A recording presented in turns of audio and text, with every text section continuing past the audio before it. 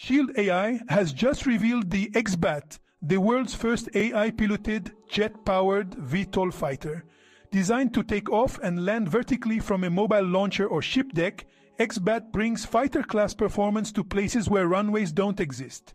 Powered by Shield AI's HiveMind autonomy core, it plans, flies, and executes missions on its own while staying link compatible for human supervision.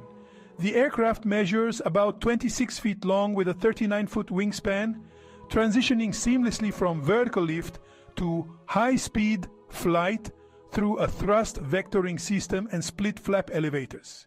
XBAT is built for reach and power.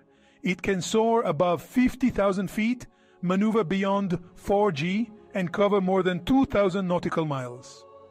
Its mission suite includes a multi-mode radar, electronic warfare systems, and advanced comms for contested environments.